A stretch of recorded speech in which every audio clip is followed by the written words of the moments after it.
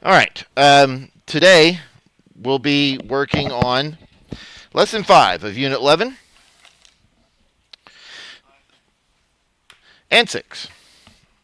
In this lesson, we're going to use another application of the least common multiple. So remember how to get the least common multiple? Basically, you, the least common multiple has to have everything. If you got like two things, you got it's got to have everything that the first thing has and everything the second thing has. Okay. So um, we're going to use them to solve equations. Now, unfortunately, just like absolute value, just like square root, just like logarithms, they all have those all have the possibility of extraneous solutions. Unfortunately, that's true with these.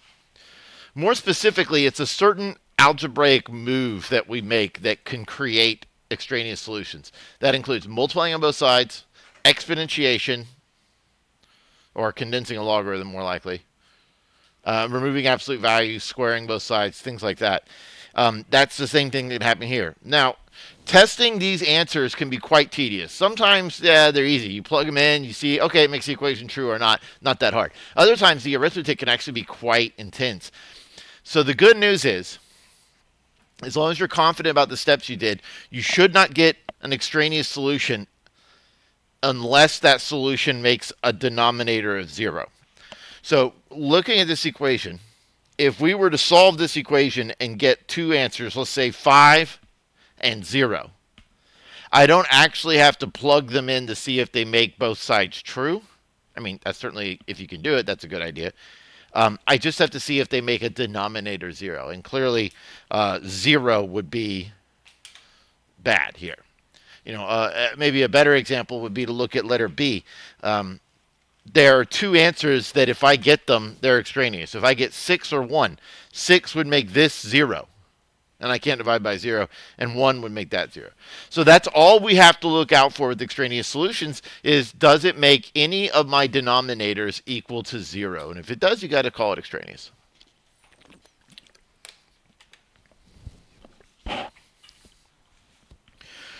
All right, so here's the steps. First, you find the least common multiple of your denominators.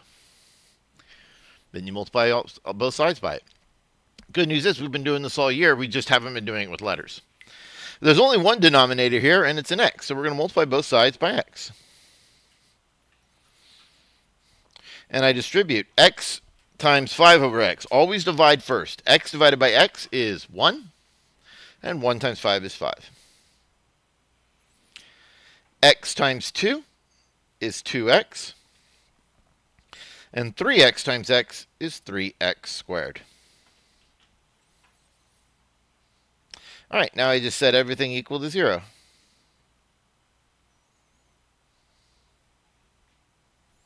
Okay? I do that because of the x squared. Now I factor. And unfortunately, not all of these are going to be factorable. Sometimes we're going to have to use the quadratic formula. So I'll put x and then we'll do minus 5.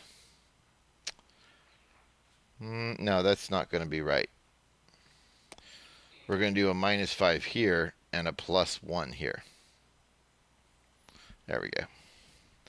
So the solutions are, if I set this equal to 0, 5 thirds and negative 1.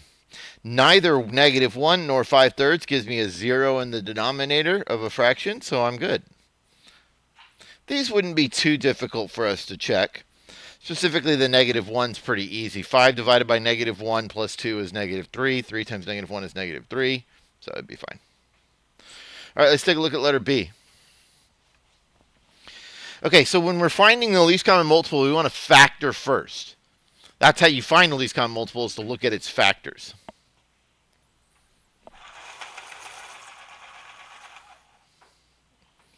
So this is 10 over x minus 6x minus 1 equals 3 over x minus 6. I'm going to make that plus a negative.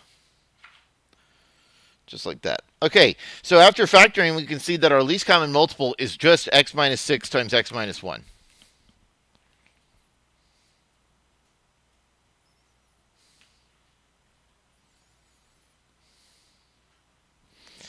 Okay, uh, when I multiply here, they x minus 6 and x minus 1 cancel out, leaving me just 10. When I multiply over here, x minus 6 cancels, so I have 3 times x minus 1. Which I'll go ahead and distribute, if that's okay with you, to 3x minus 3. Then here, when I multiply times this term, the x minus 1's cancel, and I get negative 2x plus 12. Okay? Well, that's just a linear equation, so I just need to combine like terms and solve. Uh, let's see here. What is that? x plus 9? Yeah. So x equals 1. But, look at the original problem. Had an x minus 1 in the denominator. If I plug a 1 in, I get undefined. So this is extraneous. So our solution set is the empty set. Or you could say no solution, or even this symbol. This symbol means that. No solution. Any one of those three things just indicate that you've considered the one and that you know that it does not work. All right, let's take a look at another example together.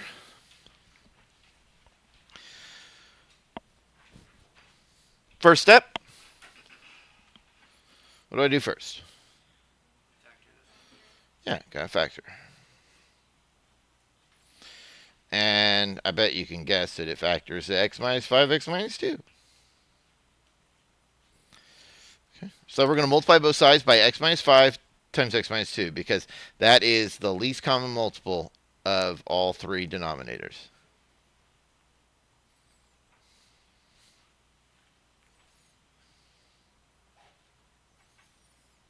Okay. Here, the x minus 5s cancel out. And I multiply 4x times x minus 2 gives me 4x squared minus 8x. On this one here, the x minus 5 and x minus 2 cancel out entirely, so I get just 3. And then on this one, the x minus 2's cancel, and 1 times x minus 5 is just x minus 5. Okay, so I've got an x squared. I need to set it equal to 0. Hopefully it factors. Again, I'm warning you, they're not always going to factor in this unit, though. Uh, 4x squared, let's see here, minus 9x.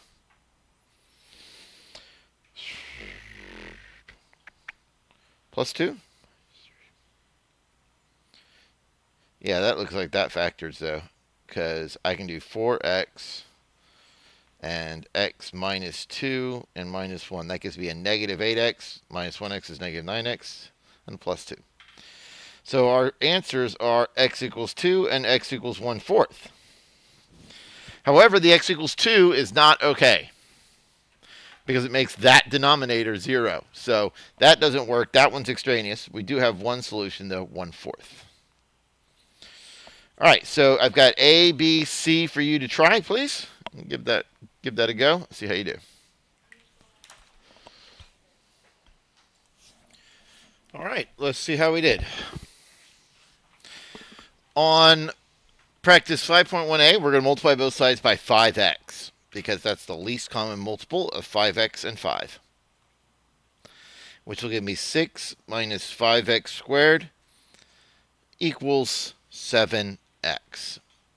Because I have an x squared, I need to set it equal to 0, and hopefully I can factor it.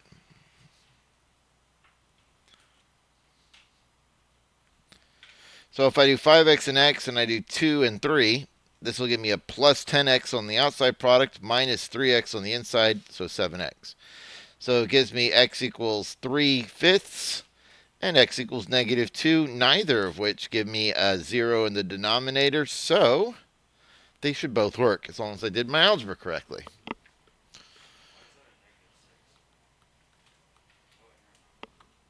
All right. Letter B. So if we factor this one here to be x plus 2, x minus 1, you can see that uh, I have a least common multiple of x plus 2 and x minus 1.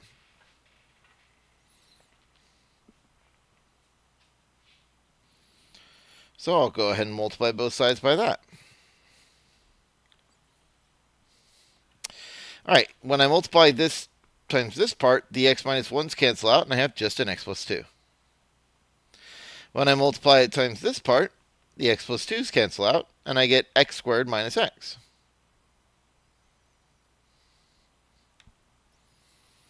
All right, on this side here, the x plus 2 and x minus 1 completely cancel out, leaving me with just 6. I'll now set this equal to 0. And I believe the x's cancel, and I get x squared minus 4, which factors as x minus 2, x plus 2. I could also use square roots. Just be sure you use plus or minus when you take a square root. So I get x equals 2 and x equals negative 2. The negative 2 is not allowed. It's extraneous but the positive 2 is okay. Because the negative 2 would make a 0 in the denominator of b, of uh, the original equation for part B. All right, on letter C, I'm going to factor the denominator and get x minus 3, x plus 3, and then x minus 3.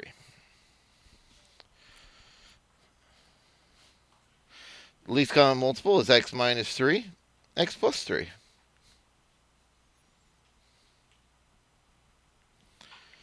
So those completely cancel out, leaving me 10 is equal to x squared plus 3x. Because those cancel out, and x times x plus 3 is x squared plus 3x. So I set it equal to 0. And this one factors as well. So we're so far we're looking out. x plus 5 and x minus 2. So I get x equals negative 5 and x equals positive 2. Neither give me a 0 in a denominator, so they both work. You might recognize that letter C is what we call a proportion. A proportion is when you say that two fractions are, or rational numbers, I should say, are equivalent. So this is not a proportional because it proportion because it has two fractions added to another fraction. But this is. Now, many students learn a technique called the cross product. And the cross product is something you can use in this class as well, but you don't want to over apply it. So, for example, the last problem we did, the cross product would actually make that problem harder. But we're ready to understand what it is and know when to use it. So the property called the cross product says that if I have two proportions, A over B equals C over D, then the product of A times D is equal to C times B. And just putting down some numbers can confirm that this is absolutely true. So suppose I had the fraction 3 sevenths and another fraction uh, 6 fourteenths. I hope you agree that those two fractions are definitely equal, right? Well, if they are, then their cross product should be the same. So if I multiply 3 times 14, that'd be 30 plus 12, that's 42. That must be equal to 7 times 6, which is also 42.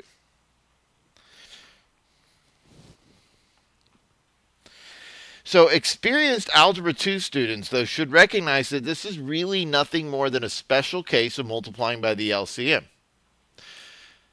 your junior high math teacher really needed you to be able to do the cross product. So they probably told you stuff, maybe even drew a butterfly over it or something like that, right? They call it the butterfly method or, or multiply, cross multiply and divide, right? Um, that's because they need you able to solve those problems, but you didn't necessarily need you to understand why it worked. Well, the least common multiple of B and D is BD. So if I put B, D here and here, you'll notice that the d's cancel out, leaving me with b times c, and the b's cancel out, leaving me with a times d. So the, the cross product is nothing more than just a result of multiplying by the least common multiple. So we can certainly use the, else, the, the cross product to easily solve some proportions. But we want to be really careful that we don't overuse it. So do not use it if you have something that has to be factored. Okay? So, for example, B, I don't want to cross product that. I want to factor first. But on an easy one like A, this is perfect for the cross product. Let's just multiply these two things together.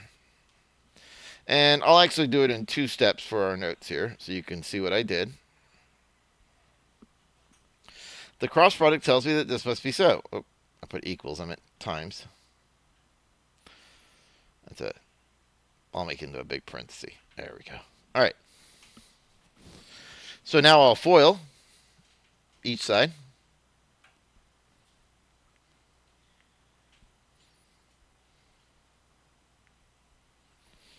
And I've got an, x squared, so I'm going to set it equal to 0. I'll subtract an x squared. That's 4x minus 3x is 1x.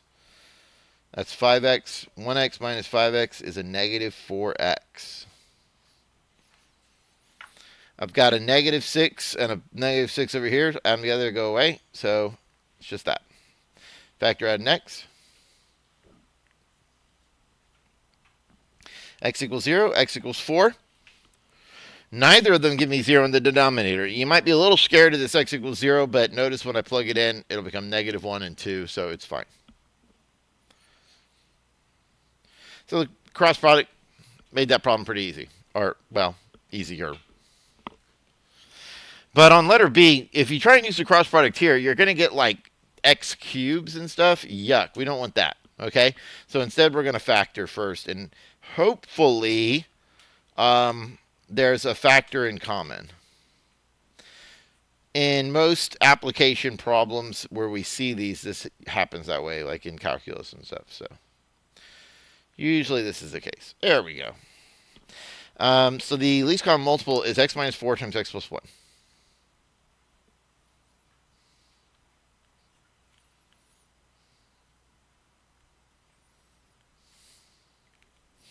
X plus 1 cancels out here.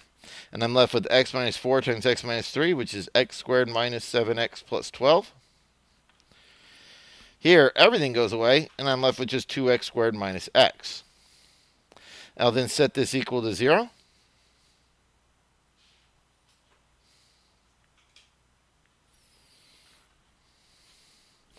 And I'm not feeling like that factors, does it?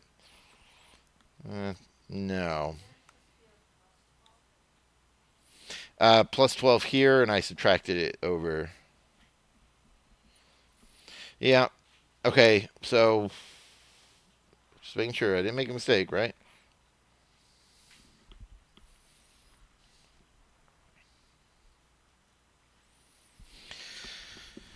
Okay, so here we go x equals opposite b plus or minus the square root of b squared minus 4ac all over 2a.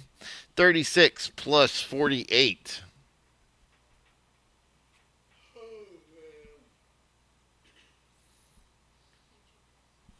Eighty-four.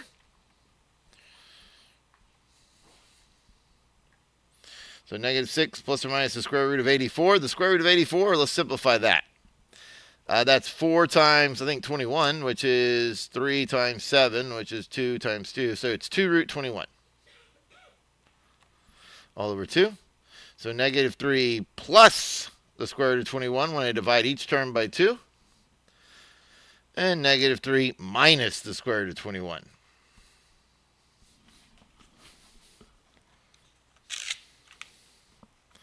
Maybe get that a little higher up there. And clearly none of those give me a zero in the denominator, so uh, that is good. All right, uh, so what I want you to do is to practice a few more problems. If you can use the cross product, do so. Uh, I think one of them you can. If you can't, no worries. Give it a try.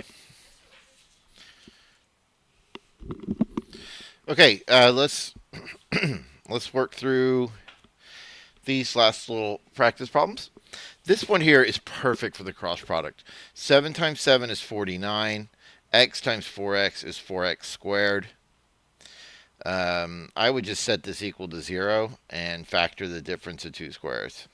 You could use square roots if you prefer. Just make sure that you do it properly. So 7 over 2 and negative 7 over 2, neither of which make that denominator 0, so we're good. All right, on the next one, it's already factored for us. We just need to multiply it by the least common multiple of x times x minus 5. Or I wouldn't say it's factored, but it's it doesn't need factoring. All right, when I multiply this to the first term, the x's cancel, so I have 2 times x minus 5 is 2x minus 10.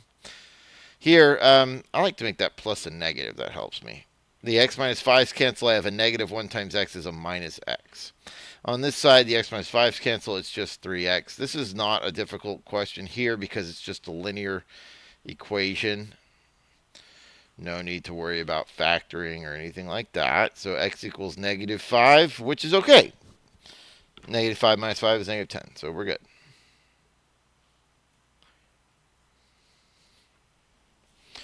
All right, we'll take a look at uh, letter C now. This one does need a little bit of factoring, not too much. I'll make that plus a negative 1 over x times x plus 1. And I'm going to multiply both sides by the LCM, which is x and x plus 1.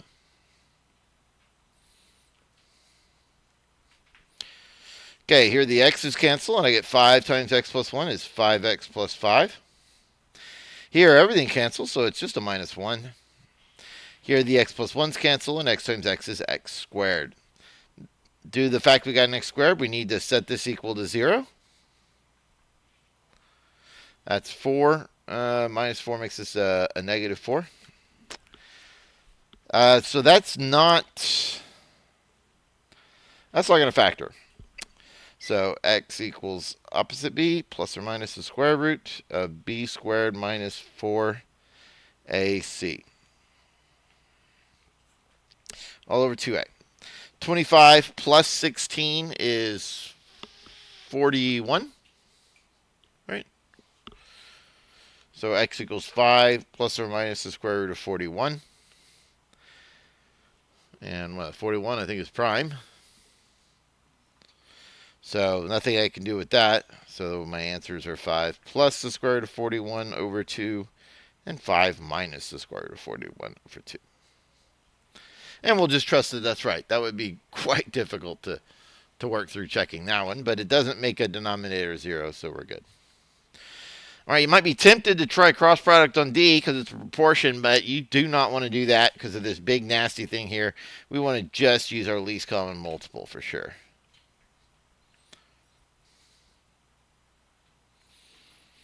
So 2x and x. Uh, well, I'm betting this is a minus 5 here a plus 1. Let's see.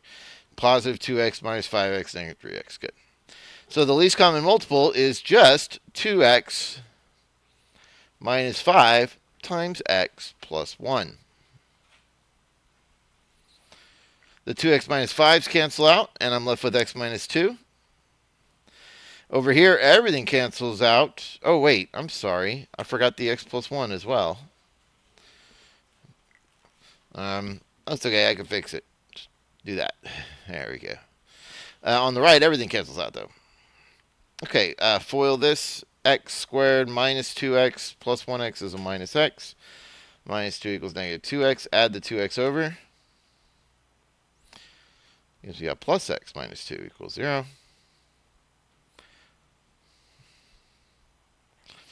So I get x equals negative 2. And x equals 1. And yeah, that, that, they both work. Uh, this x plus 1 would not mess that up, so we're good.